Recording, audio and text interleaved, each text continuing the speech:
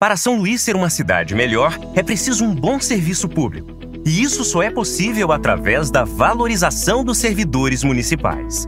É por isso que a Câmara de São Luís aprovou o reajuste de 8,2% para os funcionários do município, incluindo categorias que não estavam sendo contempladas no projeto enviado pelo Executivo Municipal, como os agentes comunitários de saúde e de combate a endemias, cuidadores escolares, conselheiros tutelares e contratados temporários. Nosso trabalho ele é essencial na garantia de direito de criança e adolescente e finalmente alguém olhou para a nossa luta. Essas categorias que a Câmara incluiu para receber o reajuste a grande maioria é formada por servidores que ganham um salário mínimo e quase todos estiveram na linha de frente de combate ao Covid. A melhor forma de homenageá-los é dando uma remuneração justa e garantindo seus direitos.